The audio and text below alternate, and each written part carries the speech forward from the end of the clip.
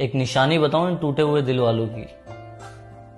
कभी गौर करना, ये हँसते बहुत। टूटे दिल की आवाज़ को सुन, तू सुन तो सही। अरमान था हमको जिसका